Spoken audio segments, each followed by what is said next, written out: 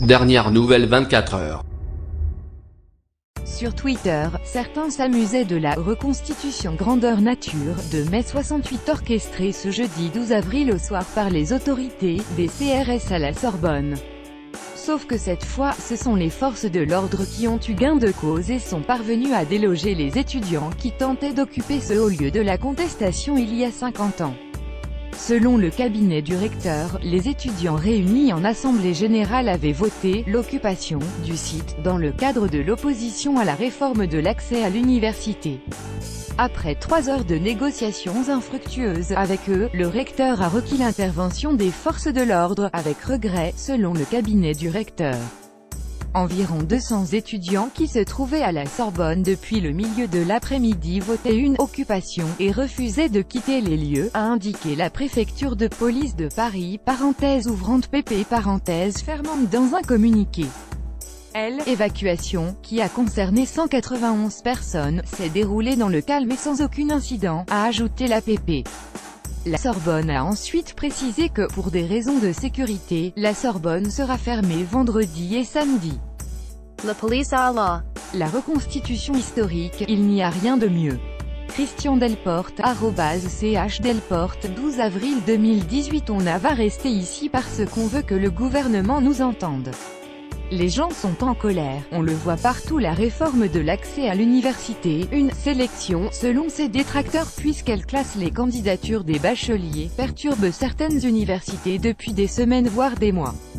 À Paris Tolbiac, occupé depuis fin mars, le président de l'université Panthéon-Sorbonne avait demandé mercredi l'intervention de la police mais la préfecture n'avait pas donné suite à cette demande.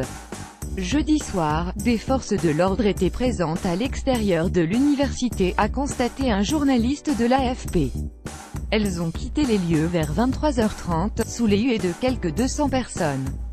Lire aussi à Tolbiac, un blocage tendu mais déterminé Natacha, prénom modifié, installé dans le site de Tolbiac depuis une semaine, a indiqué à l'AFP que, dans la soirée les flics sont arrivés et ont encerclé Tolbiac.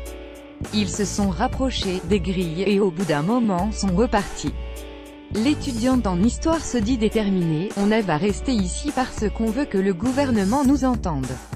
Les gens sont en colère, on le voit partout. Une dizaine d'universités sont bloquées par des agitateurs professionnels, a estimé jeudi Emmanuel Macron en conseillant aux étudiants de plutôt réviser leurs examens, qui, a-t-il prévenu, ne seront pas en chocolat. En clair, les étudiants qui espèrent voir valider leur partiel automatiquement en seront pour leurs frais lire aussi Coignard, blocus des universités, liberté, égalité, médiocrité. La fermeté de Macron. Selon le dernier décompte du ministère de l'Enseignement supérieur, quatre universités sont entièrement bloquées ou fermées, Jean Jaurès, Le Mirail, à Toulouse, Paul Valéry à Montpellier, Rennes 2 et Paris 8. Autres sites sont perturbés ou bloqués. La situation fluctue de jour en jour. Il y a très peu d'universités qui sont occupées, a déclaré Emmanuel Macron lors de son interview télévisée à TF1. Qu'il y ait du débat, c'est une très bonne chose, a-t-il estimé. Je constate quand même que dans beaucoup d'universités occupées, ce ne sont pas des étudiants mais des agitateurs professionnels, les professionnels du désordre, qui sont à l'initiative des blocages. Emmanuel Macron avait déjà fustigé mercredi, des mobilisations violentes qui cherchent la convergence des luttes.